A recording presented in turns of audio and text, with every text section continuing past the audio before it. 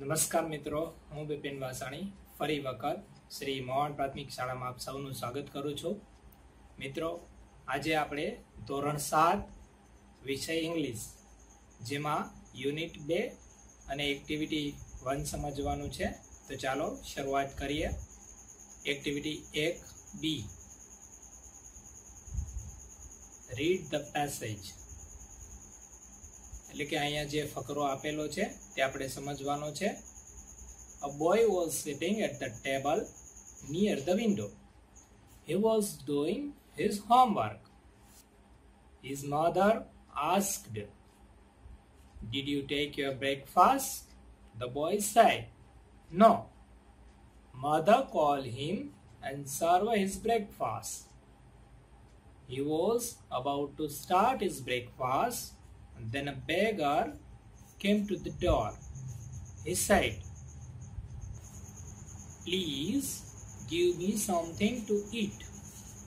The boy looked at the beggar. He looked really very poor and hungry. He gave his breakfast to the beggar.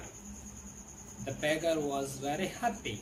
This boy was later known as Netaji Subhash Chandra Bose. Here is the picture of Subhash Chandra Bose.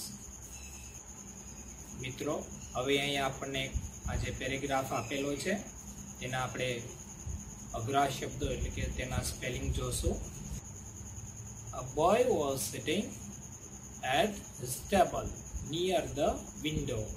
તો એક શબ્દ આવેલો છે window જેનો અર્થ થાય છે window એટલે કે બારી. He was doing his homework તો ફરી એક શબ્દ આવે છે હોમવર્ક હોમવર્કનો અર્થ થશે ગૃહ કાર્ય his mother asked did you take your breakfast તો ફરીથી એક શબ્દ અહીં આવે છે breakfast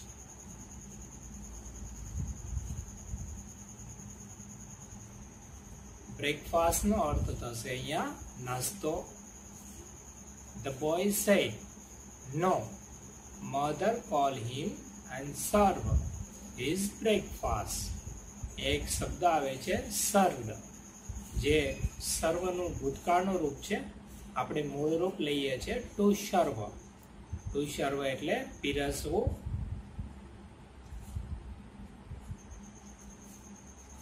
He was about to start his breakfast. Then a beggar came to the door.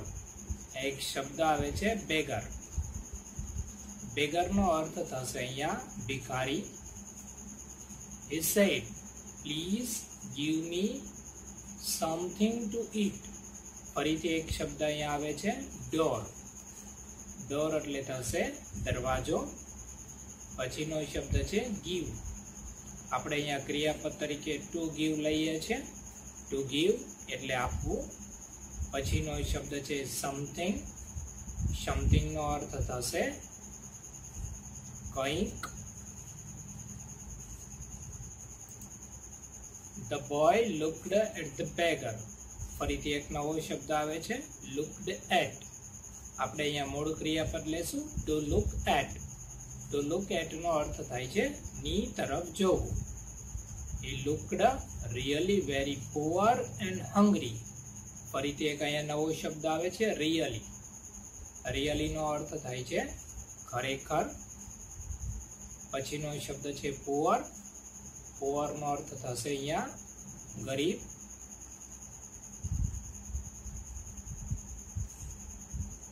ફરી એક વધારાનો શબ્દ આવે છે હંગરી hungry એટલે ભૂખ્યું he gave his breakfast to the beggar the beggar was very happy તો એક શબ્દ આવે છે happy happy નો અર્થ થશે અહીંયા ખુશ this boy was later known as Netaji Subhash Chandra Bose તો એક શબ્દ આવે છે letter letter એટલે થશે પછી અને non નોન એટલે જાણીતું. અહીં આપણે જાણીતું એવો અર્થ લેશું.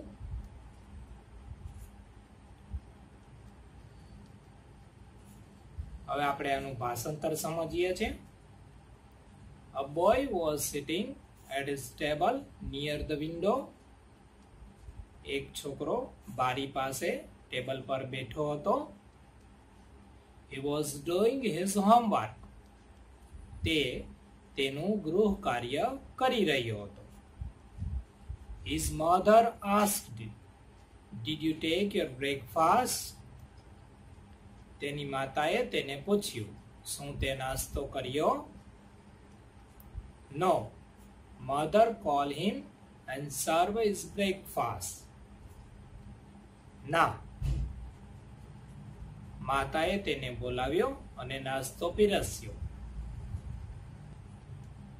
He was about to start his breakfast. તે તેનો નાસ્તો શરૂ કરવા તૈયાર હતો Then a beggar came to the door.